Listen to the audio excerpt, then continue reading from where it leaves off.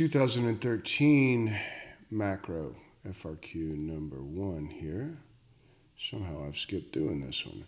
The economy is operating at full employment, long run supply, short run aggregate demand, PL1, PL1Y1. So let's just draw it here. Long run aggregate supply, short run aggregate supply. We're at equilibrium. That's not very, that's not very good, but let's see if we can move it. There we go. Um, all right. Price level on the vertical, real GDP on the horizontal. This is YF. Um, I guess we could say PL1 and Y1. We are in equilibrium.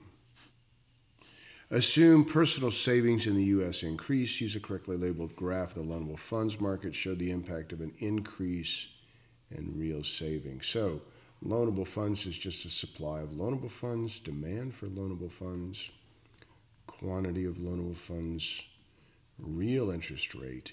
Your loanable funds graph should just be thought of as money in the banks. And that's exactly how I talk and teach it. It is just money in the banks.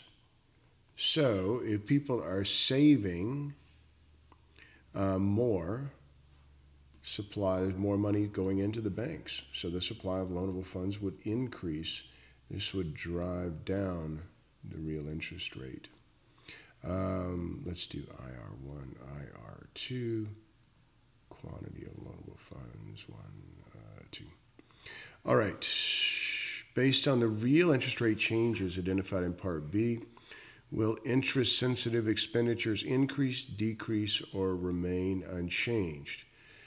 Uh, strange language, but just know that when the real interest rate goes down, wouldn't we think that investment would go up? Wouldn't we expect more people to take out loans? Um,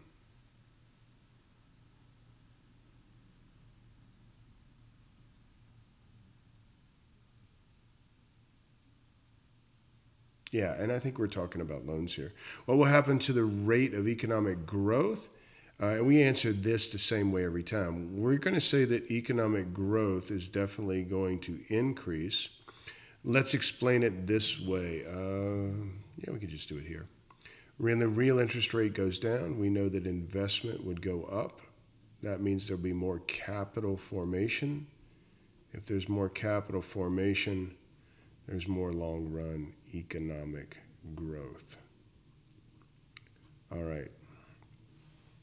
Assume the real interest rate of the Eurozone increases relative to the rate, of the United States. Draw a correctly labeled graph of the foreign exchange market for the Euro and show the impact of the change in the real interest rate in the Euro. So uh, let's just do it here. And so I'll show you how I do foreign exchange stuff. Here's the US. Here's the Euro countries. We know the real interest rate in the European countries has gone up. That means relatively the real interest rate in the US has gone down. U.S. citizens now want to put their money into the euro banks to get that high real interest rate. So they're going to dump their dollars into the Forex. This is going to make the supply of dollars inside the Forex increase. This is going to drive down the value of the US dollar. At the same time that they're dumping their dollars into the Forex, they're buying euros because the European banks only take euros so they're going to buy the euros, uh, and that means that the demand for the euro is going to increase, and this is going to drive up the value of the US dollar, I mean the euro. So the value of the euro will increase. We saw that demand for the euro went up, and we explained it that we, we need to explain it that uh, as um, as real interest rates increase, um, U.S. citizens will put their dollars in the Forex to buy euros to get the higher real interest rate. That's kind of wordy. I'm sure there's a simpler way or a shorter way to say it. Um, the value of the euro relative to the US dollar would increase. We already showed that over here. Assume the United States current account balance is zero based on the change in the value of the euro.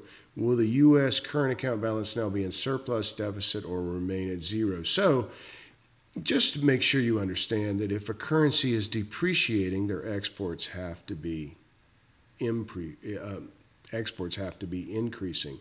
As the U.S. dollar gets weaker, it will be a better buy for Europeans, right? Their currency is stronger. They're going to want to buy our stuff.